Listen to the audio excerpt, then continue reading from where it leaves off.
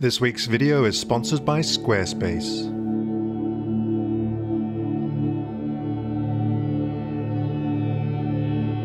Well, hello, hello everybody. Thank you ever so much for tuning into this week's video.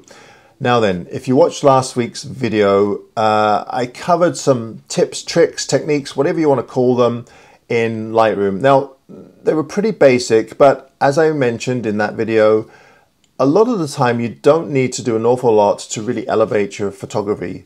Uh, all it takes is contrast adjustment and brightening certain areas, darken, darkening areas. And as I said in that video, what it really boils down to is being able to recognize good light for the subject matter that you're photographing, being able to at least have the basics of how to use your camera and also composition. If you can get those three things sorted out and you have a reasonably good knowledge of those things, then you shouldn't have to do much in Lightroom or Photoshop, unless of course you, you really want to. So in this video, I want to continue with that theme, except this time we're going to be doing a little bit of dodging and burning. Now, primarily dodging. And again, I want to keep it uh, limited to uh, Lightroom because I know most of you probably use Lightroom more than Photoshop. Now, I will say that even though I'm going to be working on this image in Lightroom, personally, I would probably use Photoshop as well, especially for the dodging because it's just a little bit more precise and I can use uh, what are called luminosity masks so I can pinpoint certain tones in an image and lighten them and darken them. Whereas in Lightroom you can do it but it's not quite as precise. But I promise you we'll try and get this image done in Lightroom so that at least you can see that if you want to start playing around with your images and just kind of uh, drawing attention to certain areas you can definitely do it in Lightroom successfully. So without further delay, let's just jump right into this image. And this is a this is a woodland image, but uh, you can use the same techniques in, in any photograph. All right, let's uh, jump in and uh, see what we can do with this image. All right, this is the photograph I'm going to be working on today. Now, this is an older photograph that I took in 2016 with a Nikon D800. I've always liked the photograph, but uh, it obviously needs a little bit work of work done to it in that uh, the light was somewhat flat, but there is some directional light. You can see that on these shrubs here, they're a little bit brighter. There's some light, very subtle on the side of this uh, Sitka spruce here and on this tree here. So the idea is to try and give this image some depth. It's quite two-dimensional right now. Add some depth and uh, sort the colors out a little bit. Uh, incidentally, this image I'm working on because uh, I'm trying to put together a book on old growth forest, and this is one of the candidates for that book.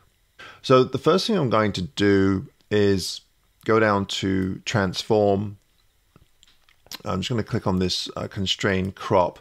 The trees is kind of leaning over a little bit. I think they were leaning over slightly, but ideally I want them to be vertical.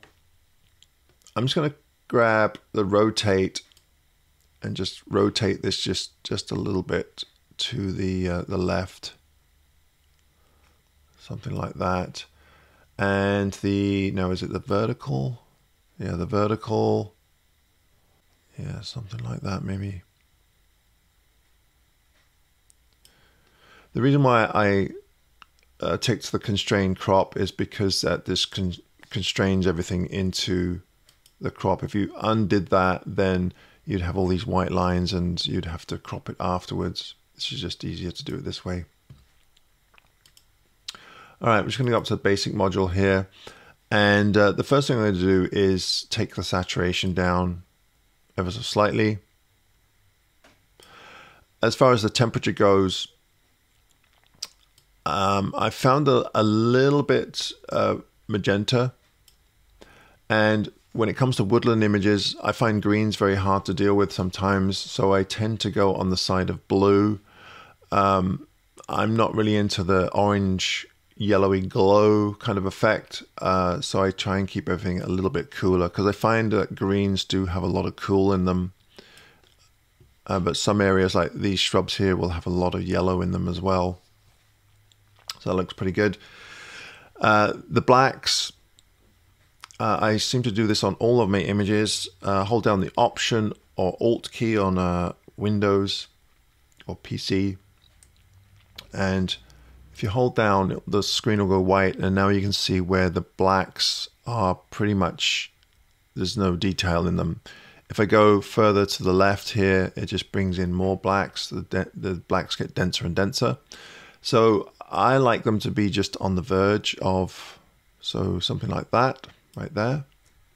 And the same with the whites. Now the whites, you'll notice that in the sky here, I have this uh, little arrow turned on. The red is just telling me that that area there doesn't have any detail in the original. Uh, but what I'm going to do here is uh, I'm just going to go check out the whites option again or alt and I'm just going to bring these up a little bit see how far I can go before it just gets way too um, overexposed in the background there. See, what I'm trying to do is if you want to create depth, you need contrast. And the only way you can do that is by, well, you could use the contrast slider here.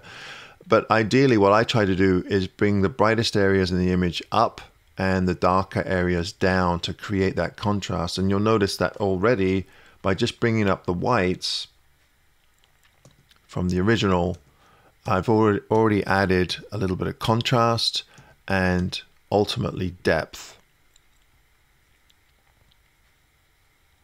Now I'm not too bothered about the um, the blown out areas in the background here. We could probably sort those out a little bit later. So when you're looking at an image like this of a woodland, you've got to think to yourself, okay, well, what is it in this image that I really want to bring uh, the viewer's attention to? And even though this was several years ago, what I really loved about it was this big old Sitka spruce. That that was kind of the foundation to the photograph, and then I just uh, composed the rest of the scene around this one big old tree. So since that's the most important part in this image for me, that's the part that I want people to look at first. So to do that, now it is in the center of the frame, so it's hard to miss, but I want to bring up the the lights or the or, or the highlights on this side of the tree and keep the shadows as dark as possible. So let's just bring this down a little bit more what I'm going to do is I'm going to go into the masking area here and collect, uh, select a brush. I'm going to keep the density and the flow quite low. And I'm actually going to click on auto mask. And what I'm going to do, just bring the feathering down just a tad. I'm just going to paint the side of this tree here. Now in Photoshop, uh, I would just use a brush and, and, and dodge and burn tool. But of course, we don't have that here. So this is slightly different where you paint the area that you want first and then you start fiddling with exposure and such. So, and rather than try to do everything all at the same time, I just find it easier if you concentrate on one section and then move on to something else. And then you can always adjust it afterwards. If it's done globally, then some areas in the frame might look really good, but then there'll be other areas that won't look so good, and it's it's kind of hard to uh, change those after the fact. So what what I'm going to do here is just I'm going to bring up the whites, and it'll it'll be very subtle, and the idea is to try and be as subtle as possible. Don't overdo it. You can bring the highlights up maybe a little bit, even though that doesn't do an awful lot. Um, and then the exposure. Now you have to be really careful with this one because this will make a, a, drastic change. And I'm slowly going to bring the, the, exposure up. See, I could bring it up to something like that, and that might work. Um, I'm just going to bring it down just a little bit from there. And you can see already that by just doing that, we've created some depth within that tree we have natural light coming in here, uh, from the left. It is hitting the tree, and we're just enhancing that. So you'll notice on this tree as well, we can kind of see the same thing. So again, I'm just going to grab another mask, a brush again, and I'm going to do the same thing. I'm just going to paint in this section here.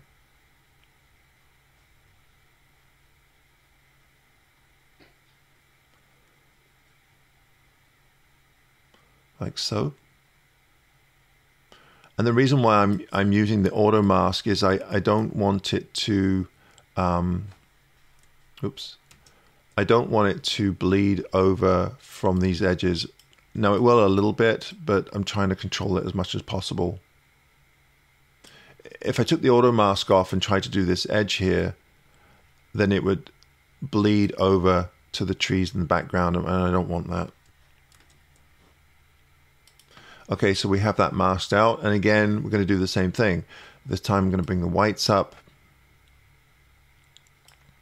uh, the highlights a little bit, and the exposure. And again, you can see that we've created this uh, this illusion of this light hitting this tree in here, like so. And again, if we hit the backslash, you can see that we've just created that little bit of depth. Right then, what else can we do? Well, it'd be nice to brighten up these uh, shrubs here a little bit. So what I'm going to do is I'm going to grab another uh, mask, but this time I'm going to go for the color range. And I'm just going to grab, you'll see there's a, an eyedropper. Because this is a different green than the rest of the frame, it should be easier to isolate. So just going to uh, click on that light green there and you can see the color up here and all of a sudden you can see that it's masked out.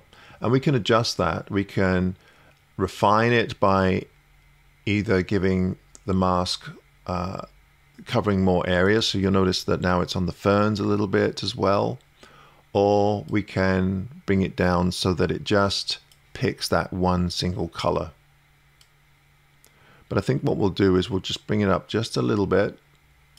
And again, we're going to brighten up those areas ever so slightly.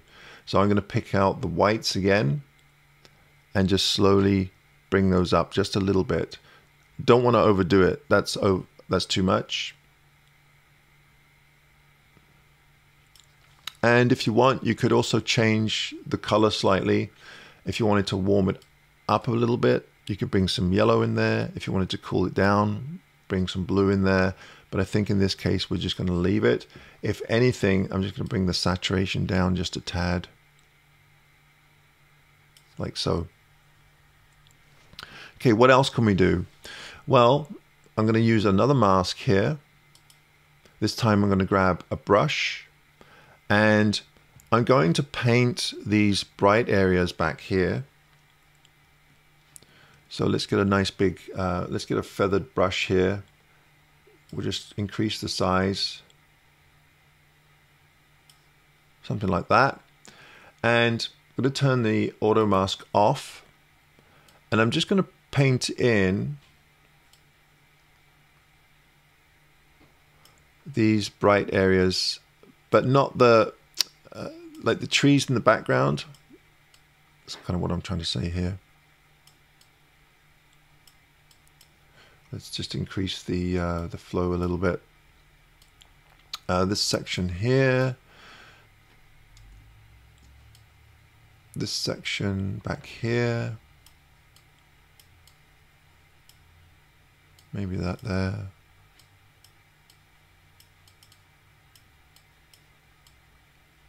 Doesn't matter if it bleeds over a little bit.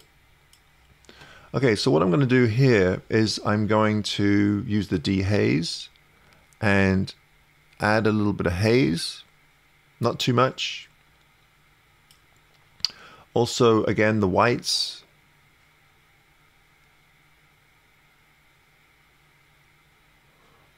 And perhaps a little bit of exposure,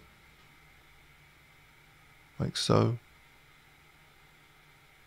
Okay, so the image is almost done, um, but you'll notice that these white patches in the sky that were originally in the in the original file uh, are getting a little bit unmanageable here. Um, so what I tend to do with uh, images when I have sky like this, there's well, there's one or two things. I'll either clone in areas um, with other foliage. Smaller areas tend to be okay, but a large area like this can be quite difficult. This might work here. You could probably clone in some branches or something.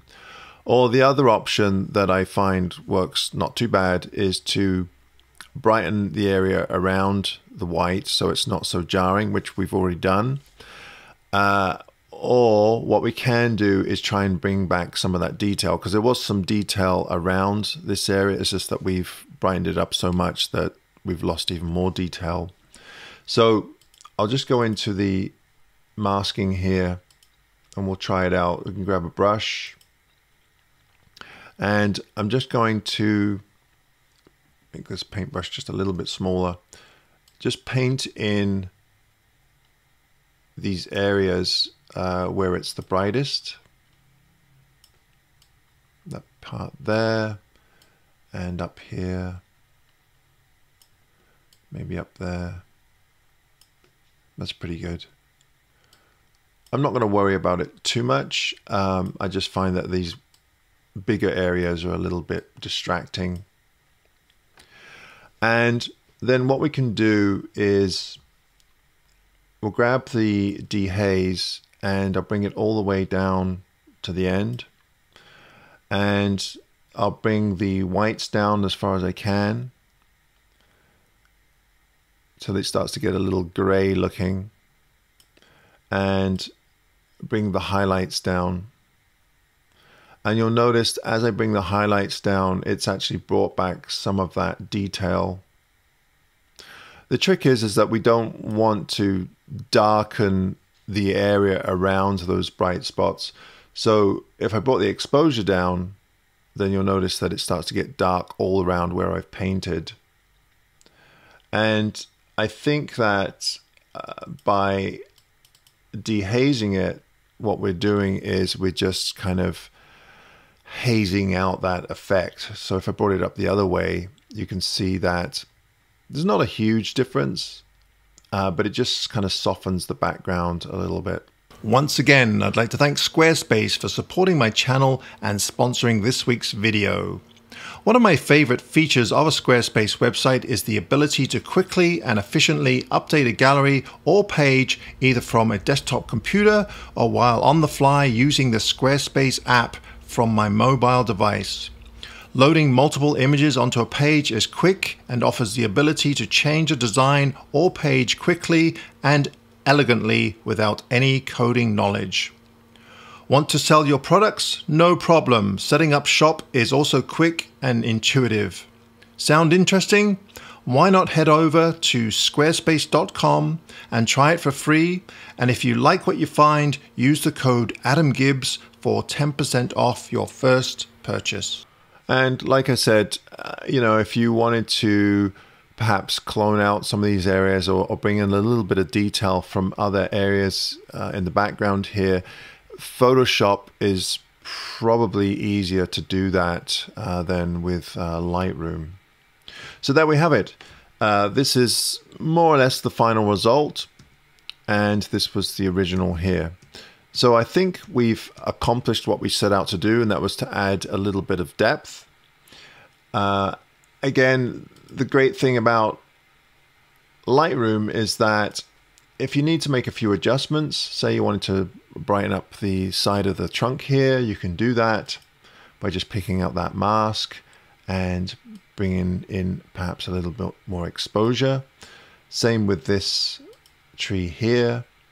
Uh, you could bring up the exposure a little bit more in there. Uh, if you wanted to perhaps bring more attention to the center portion of the image and not so much the, the outer edge, what we could do there is we'll just reduce the size of the image here and we'll pick out another uh, mask, say a radial gradient, and do it nice and big here. Something like that. Invert that and then bring the exposure down just ever so slightly. You can see we're darkening the edges there. It's like a vignette, but not so much on the top here. So again, there's lots of things you can do to really draw attention to what it is you want to bring attention to. And as I said in the beginning of this video, my uh, interest was really in in this uh, Sitka spruce in the center here. Just out of uh, interest for some of you, this was uh, the, obviously the edit that we just did. This was the original raw file. And here's an edit that I did several years ago when I first made this image. Here's the edit of slightly different composition. But you can see that there are some differences. Uh, I think in a more recent edit like this one, I would probably not go quite as far with the dodging and burning. But of course, it's a it's a personal choice. Uh, maybe cool this down just a little bit more. Maybe not that much, but you get the idea. Right. Once again, thank you ever so much for watching this week's video. I hope you enjoyed it. I hope you picked up a couple of tips. And if you did enjoy it, please be sure to give me the old thumbs up. And if you enjoy the content of my channel, be sure to hit that subscriber button. That's always helpful as well. All right. Until next week. Bye bye.